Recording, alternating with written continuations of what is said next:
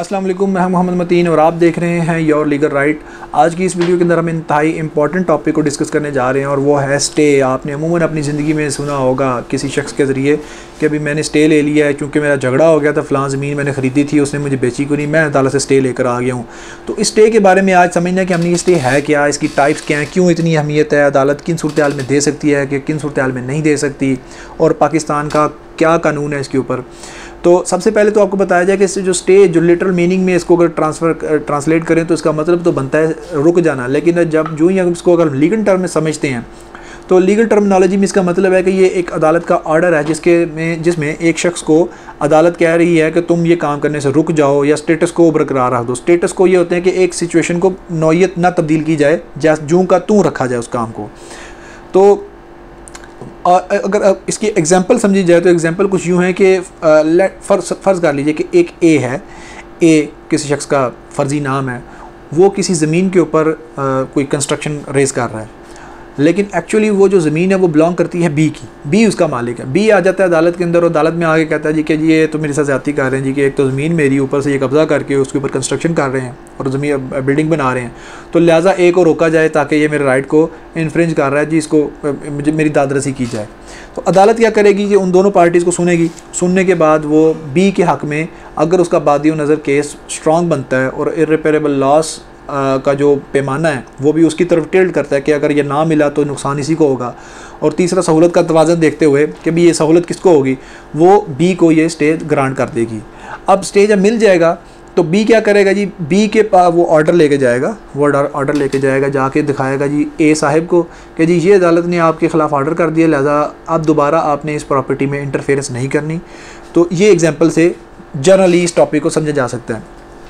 अगर अब बात की जाए कि पाकिस्तान का कौन सा कानून है तो उसके अंदर जो मेनली जो लफ्ज़ इस्तेमाल किया जाता है स्टे के लिए तो वो तो इस्तेमाल किया जाता है इंजंक्शन और इंजंक्शन के बारे में जो कानून है, वो मिलेगा आपको स्पेसिफिक रिलीफ एक्ट के अंदर.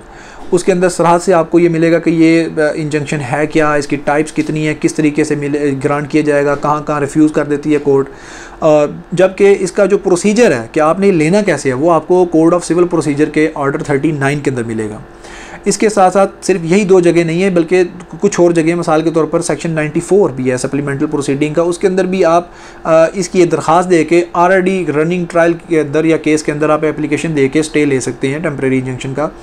और इसके अलावा जो हमारा आइन पाकिस्तान जो सबसे बेसिक लॉ है जिसकी बुनियाद पर पाकिस्तान में सारे मशीनरी पूरी मशीनरी काम कर रही है उसके भी जो आर्टिकल 199 है जो रेट जो है हाई कोर्ट की तो हाई कोर्ट को भी इख्तियार दिया गया है कि वो भी किसी आ, मामले को देखते हुए उसकी पिक्यूलियर सर्कमस्टांसिस को समझते हुए वो स्टे ग्रांट कर सकती है। लेकिन वहाँ पर भी स्टे नहीं वहाँ पर इंजंक्शन का यूज़ किया लफ्ज़ यूज़ किया गया। ये गलतुल आम है कि हम जी स्टे मिल जाए। बेसिकली वो इंजंक्टिव आर्डर होता है परमानेंट इंजंक्शन होता है या टेम्प्रेरी इंजंक्शन होता है। अब अगर हम आते हैं इसकी टाइप्स के ऊपर तो ऑलरेडी मैंने जो पहले पहले बता दिया कि इसकी जो मेन मेन जो मोटी जो किस्में हैं वो है टेम्प्रेरी इंजंक्शन और परमानेंट इंजंक्शन टेम्प्रेरी इंजंक्शन तो सिंपली जैसे जो फ़र्ज़ी तौर पर दिया जाता है, जो एक तरीक से दूसरी तरीक तक या एक ऑर्डर से दूसरी ऑर्डर तक, और अगर ड्यूरिंग ट्रायल अगर कोर्ट ने वो ऑर्डर ना किया तो वो ख़त्म समझा जाएगा। ये टेम्प्रेरी इंजंक्शन कहलाता है। जबकि जो परमानेंट इंजंक्शन है परमानेंट इंजंक्शन तब दिया जाता है जब दोनों पार्टीज़ अपनी दावा, जवाब दावा और तमाम शहादत कंक्लूड करने के बाद जब अदालत फ़ैसला सुना देती है तो जिसके हक़ में फ़ैसला सुनाती है, उसके हक़ में परमानेंट इंजंक्शन दे दिया जाता है।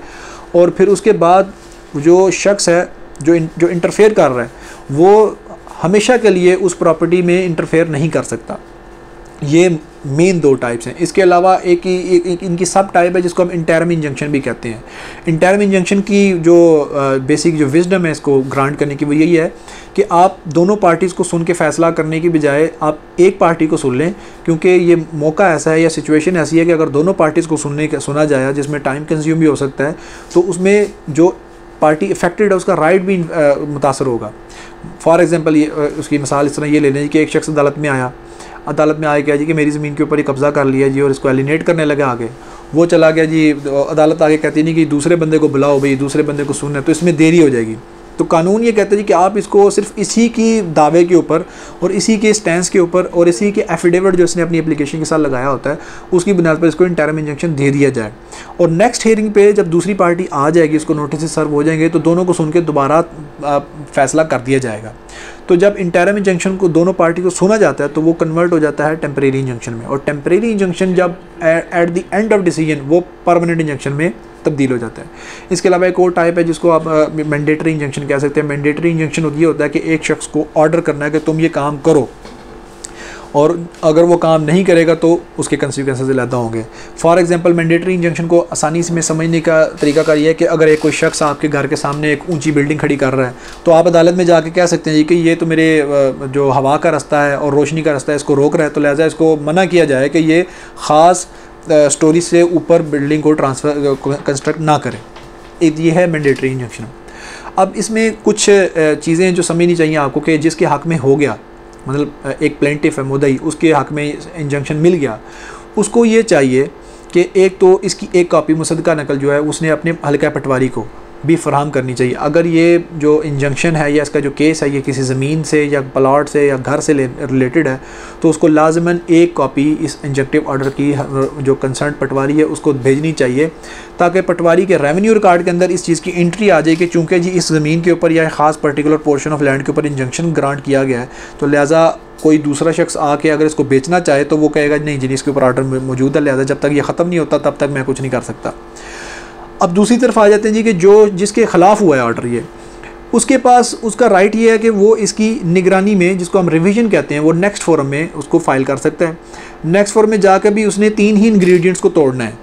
उसके जो स्टे के ग्रांट करने में भी तीन इंग्रेडिएंट्स हैं, इसको ख़त्म करने या डिसमिसल कराने में भी तीन ही इंग्रेडिएंट्स को तोड़ना होता है आपने। वो मेनली ये है कि आपका एक तो बादी नज़र केस बनना चाहिए था, कि आपका यह केस इतना स्ट्रांग है और on the basis of available documents आप ये कह सकते हैं जी कि मैं मैं जीत जाऊँगा इस केस को।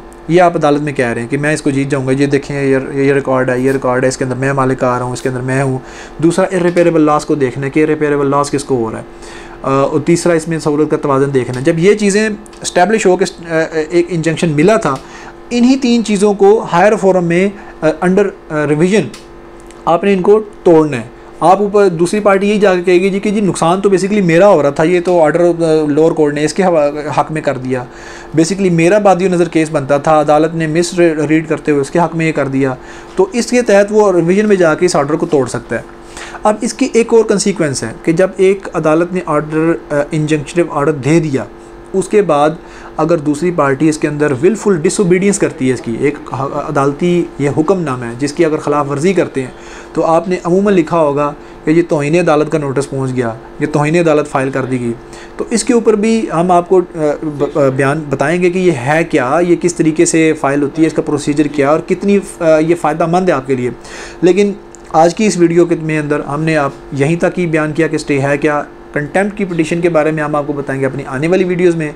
और मैं, अगर आपको ये वीडियो आपको अच्छी लगी है तो इसको यकीन शेयर करें और हमें सपोर्ट करें और मुलाकात होती है अपनी नेक्स्ट वीडियो में।